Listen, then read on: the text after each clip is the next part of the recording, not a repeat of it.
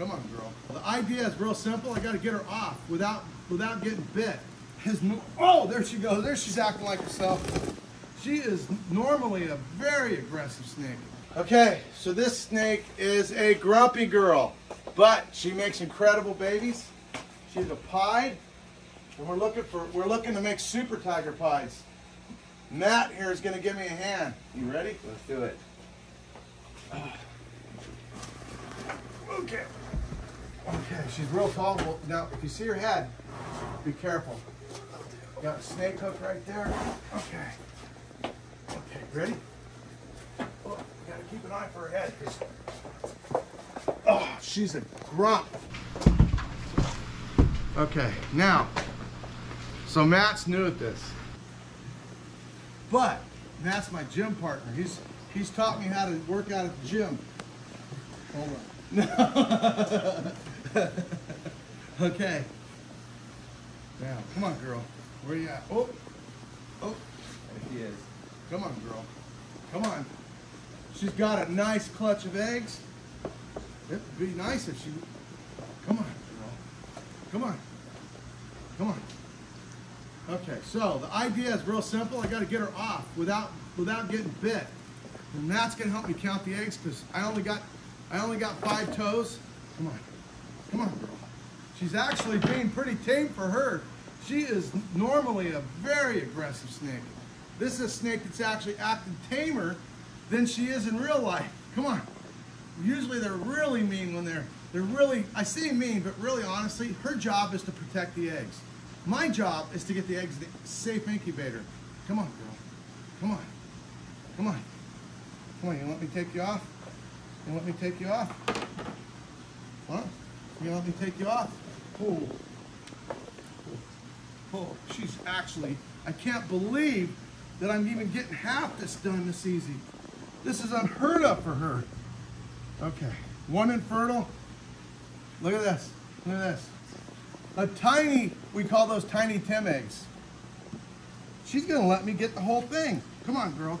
What is up with you, girl? I've had this one a long time and she's always grumpy.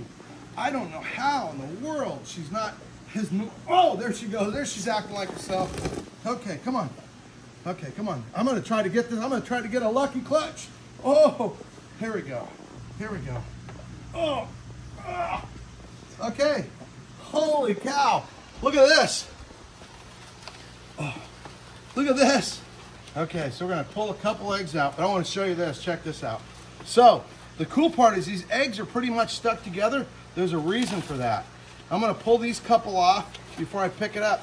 So python eggs, they maternally incubate them, they wrap around them. So I taking them away from her actually does two things. It gives me an opportunity to get her back on food.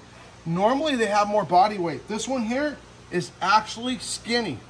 And I try to make them, I try to give them a lot of body weight before they shed and before they have before they get in their last we call it the last step before they start breeding. Because it takes about three months for them to get gravid and then then they have to make all these eggs which takes a ton of energy. Look at that. Is that crazy? I mean that's crazy. So they have to make all these eggs and all that energy sucks their weight body weight down. And then they have to sit on them for three months and that wears them out so by the time it's done, it's six months without food, and then we have to feed them real heavy, and then a good girl will get nice and heavy. The last one we pulled actually had extra weight. Okay, so you can see she's very, very skinny. Let me go ahead, there we go. Oh. Oh. So she's literally got like zero body weight. You can see her ribs, and that's the way, that's, then she's got to go three more months without food, but because we took her off Check that out. Because we took her off, you see, now we're going to be able to try to get some of that weight back on her.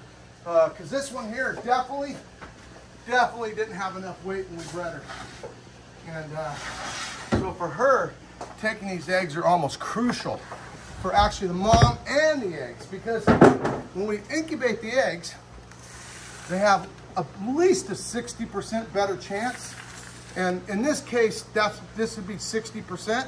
If there's infertile eggs, like a bunch of these, the odds are way different.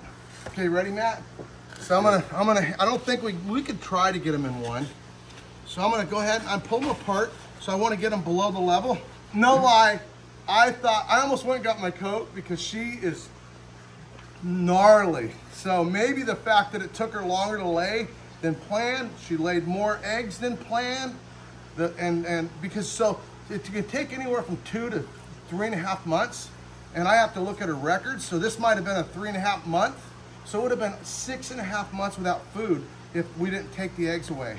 And taking the eggs away are not really for her benefit, but in this case, probably is for her benefit.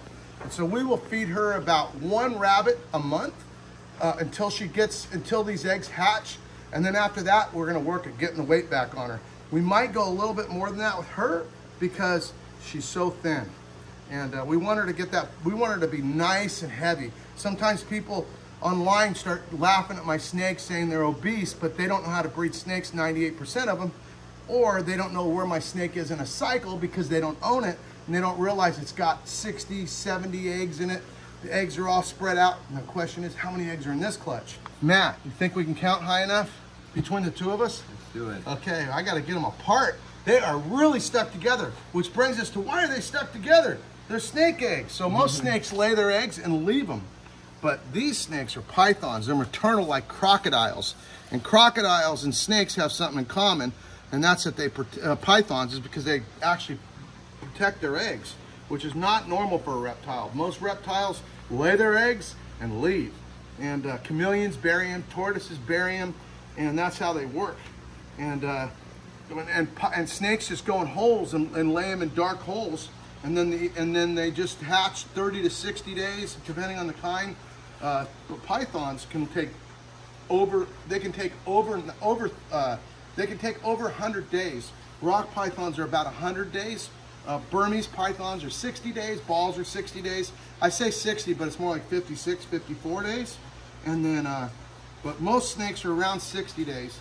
These are reticulated pythons and reticulated pythons they hatch more in the 80, 76, depending on if they're dwarfs, super dwarfs. Super dwarfs are like 74 to 76 days. Uh, these are these are mainlands, so these will be about 82 to 86 days, depending on the temperature. We do them at 90 degrees, and uh, man, they are really more stuck together than normal. Okay, 21. Dang, I don't can't remember that far back. okay, here we go. So I got to be a little bit gentle because in each one of these eggs is actually a little embryo already. I told you that they take a couple months. So most of these are already about 54 to 56 days old. Uh, maybe as much as 60 if the temperature in the enclosure is uh, uh, low enough. It could be as many as 60 days. Did you already lose track? Huh? let me let me recount. Okay, hold on. You hold. Let me go. Let me go ahead and make it less work for you. Let me get a couple more in there so I don't add too many more on there. Did you guys lose count or did you guys, are you gonna have to rewind now and figure it all out? So, but the cool part is I'm gonna start posting videos and hatching them again. And uh, I took a break from showing the hatching videos because algorithm stuff, but you know what? We're gonna make this about you guys and what you like. And you know what? Everybody that comes to the zoo always asks me, oh, my favorite videos are the hatching eggs and the ones where the snake gets you. Why do you guys want to see the snake bite me?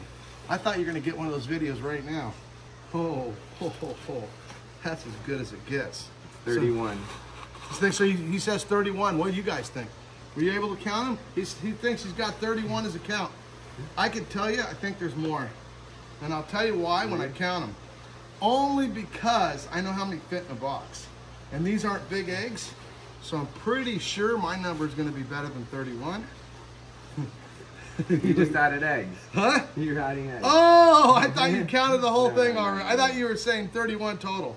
I'm keeping Matt thinking. 37 absolute rocking eggs. We don't count the infertile ones, but there's a tiny Tim one. Tim, Tim is actually, Tim is in charge of breeding all these guys. And uh, so Tim's working on, what do you, what's the best, what's your most exciting clutch you're going to make this year? Oh, I'm putting him on the spot. No, the rainbow. Like a Sun Tiger Rainbow. Sun Tiger Rainbow. So that will be pretty cool. We're gonna we'll try to make some Sun Tiger Rainbows. So check it out. Is that cool or what? Awesome clutch. Hope to see you soon. What's your favorite kind of video? Pound the like key. Tell us what it is. and hit one of these boxes here right over here and check out the next video he thinks the coolest. Anyway, keep living the dream. Peace out. Thanks, Matt. Let's do it.